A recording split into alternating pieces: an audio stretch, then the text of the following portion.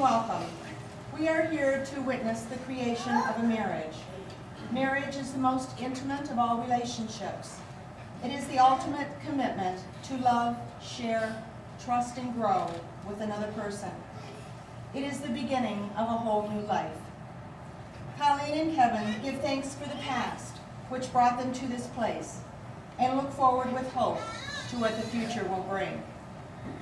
By entering into this marriage, Colleen and Kevin are stating publicly the feelings and commitments they have held privately between them. They are proclaiming their love for, their trust in, and their loyalty to the one they cherish above all others. Marriage has been described as living in love with your best friend. Love is one of the few constants of the universe. It is reality, affinity, and communication. Only love is capable of joining living beings by their deepest essence, uniting, completing, and fulfilling them. Loving someone is the reason to stretch beyond our limits, to become more for the sake of the other. It is to look into the soul of your beloved and accept what you see. Loving is the ultimate commitment which challenges humans to become all that we are meant to be. As they are joined in marriage today, Colleen and Kevin are announcing to the world that they are welcoming that challenge. This is a new beginning for both of you, and I'd like to offer some gentle reminders to ease your lifelong task of living and growing together. Be kind to each other, and when you disagree, do it respectfully. Be gentle and forgiving with each other. When you forgive, your heart grows a little bigger, a little more understanding, and a little more compassionate. Be strong, but be flexible. A rigid branch will crack when the wind blows hard, so be strong enough to bend. Communicate with each other. Share the joy that's in your heart and the sorrow that burdens your soul. Open your hearts to each other and find the love. Happiness in marriage must be created and is not something that just happens. You can never be too old to hold hands. Remember to say I love you at least once a day. Never go to sleep angry.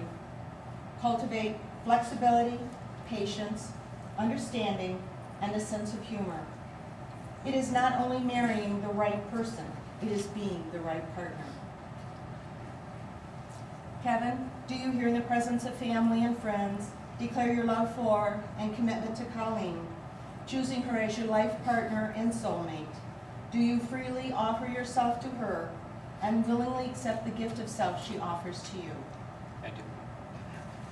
Colleen, do you here in the presence of family and friends declare your love for and commitment to Kevin, choosing him as your life partner and soulmate? Do you freely offer yourself to him and willingly accept the gift of self, of gift of self he offers to you? I do. Want to hand your flower over to Emily, please, and turn and face each other. Hold hands. And Kevin, please repeat these words to Colleen. I, Kevin, take you, Colleen, to be my wife, I, Kevin, take you, Colleen, to be my wife. to love you when you drive me crazy, To love you when you drive me absolutely crazy. to respect you when we disagree, To respect you when we disagree. to support you if bad times come our way, To support you at bad times come our way. And to always remember And to always remember how grateful I am how grateful I am to have you by my side. to have you by. Colleen, please repeat these words to Kevin. I, Colleen, take you, Kevin, to be my husband, I, Colleen, take you, Kevin, to be my husband. to love you when you drive me crazy, To love you when you drive me crazy. to respect you when we disagree, To respect you when we disagree. to support you if bad times come our way, To support you if bad times come our way, and to always remember and to always remember how grateful I am how grateful I am to have you by my side. to have you by my side. Because of the vows that have been taken today, Colleen and Kevin have formed a new family. To make that commitment complete, Kevin would like to make a promise to Lydia. Do you want to read this? No.